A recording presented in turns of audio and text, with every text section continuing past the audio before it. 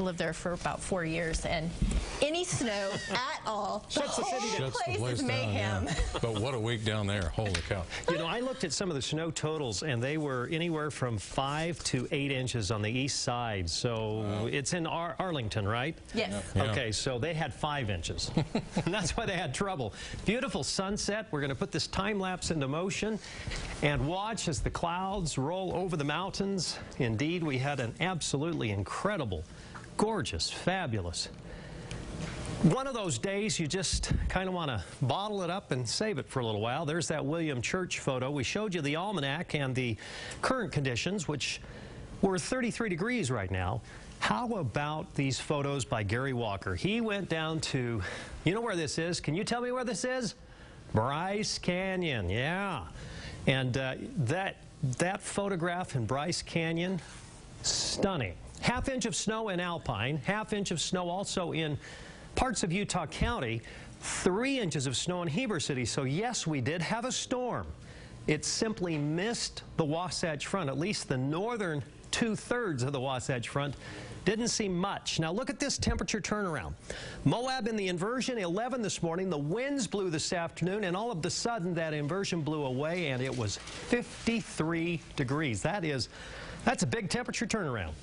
Half inch of snow in Provo, and Larry Matthews in St. George, 67 this afternoon. Now compare that with the Vernal Airport, where the high was 29. So across the state, temperatures varied from the 60s to the 20s. Now, we do have some snow. It's falling in parts of Wyoming, heavy snow around Denver, Colorado, another storm system in Iowa, all associated with the same weather systems that are wiggling down across the northern Rockies. Very strong northerly flow is whipping these storms quickly. They come from the north and they dribble by Utah and then turn the corner and head eastward. But this storm right here, it has a bullseye on Salt Lake City, not for tomorrow. Here, here we are at 10 a.m., heading out to church or heading out to your favorite golf spot if you're golfing tomorrow, or in southern Utah, maybe a good golf day there. Uh, in Vernal, the inversion stays, but watch what happens. As this warm front moves by, we start to see development of some snow and maybe even some rain Sunday night and early Monday morning.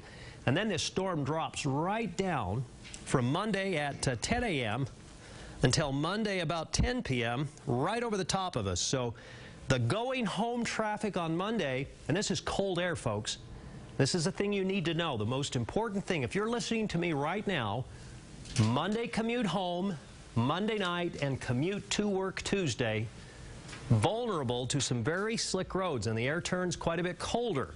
In the meantime, Sunday, this storm system dribbles across parts of Colorado and Wyoming, doesn't do much in Utah.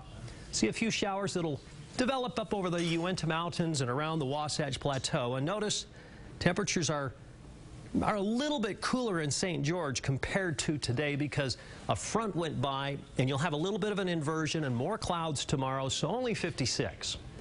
Richfield 41 and 20, 34 in Manti. We'll bump it up to 60. That's because the wind ahead of the cold front will bring the temperatures up and then down and then back to 49 on Wednesday. Then we're back up to 62. That's a temperature roller coaster ride. Here in the north, we're not expecting much in the way of precipitation tomorrow. A few snow showers in the mountains. Temperatures will be around 43. We were 44 today, so 43 tomorrow. Almost a ditto day. And then that storm comes in. And it will arrive late Monday, so we're up to 47 ahead of the front. The front goes by, we drop to the 20s, and it's commute time front. Monday night, Tuesday morning early. Notice the difference in temperature Won't that be Tuesday. fun, yeah. And then uh, high pressure. I didn't put it on there. I wanted to, but I'm trying to be optimistic. There could be some haze and smog by the end of the week, but I didn't put it on there because I'm the, the, the, the glass is half You full. never know. That's Thank right. you. All right. Thank you. Thanks.